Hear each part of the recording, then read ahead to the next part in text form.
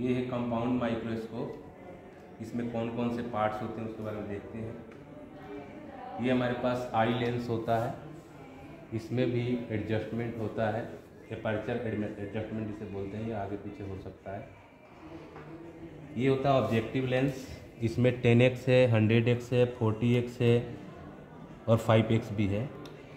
Hundred x का मतलब हुआ ये टेन एक्स है और ये हंड्रेड एक्स है तो टोटल हो जाएगा थाउज़ेंड टाइम्स लार्जर। अगर किसी चीज़ को हम देखेंगे तो एक हज़ार गुना बड़ा दिखाई देगा। इसमें एडजस्टमेंट के लिए ये स्टेज होता है। स्टेज के एडजस्टमेंट के लिए ये दिया गया है। और इसमें एक क्लिप होता है, जिस पे हम स्लाइड रख सकते हैं। जैसे ये स्लाइड है स्लाइड को यहाँ रख करके।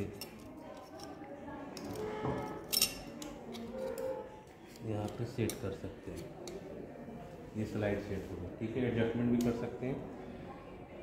ये होता है क्वार्ट्स एडजस्टमेंट के लिए, ऊपर नीचे करने के लिए। और ये होता है फाइन एडजस्टमेंट के लिए।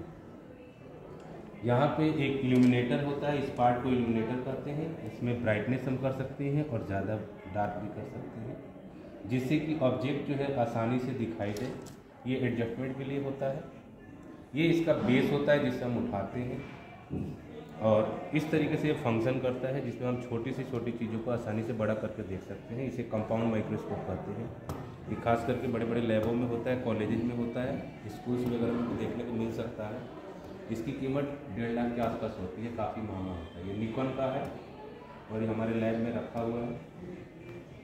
इस तरीके से एडजस्टमेंट कर सकते हैं, यहाँ से देखने के लिए होता है। आप देख सकते हैं, बहुत ही मतलब छोटे छोटे पार्टिकल्स दिखाई दे रहे है। ये होता है कंपाउंड माइक्रोस्कोप